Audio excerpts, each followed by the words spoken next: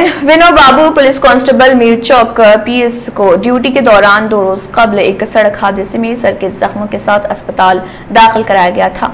दौरान इलाज उनका समाजी गुड़ा के यशोदा अस्पताल में इंतकाल हो गया। यह हादसा उनकी शादी के दिन पेश आया था। Anjali Kumar IPS commissioner of police Hyderabad ने इस पर गहरे रंजोगम का इजहार किया और उन्हें फूलों से नवाजा और उन्हें सलाम पेश किया।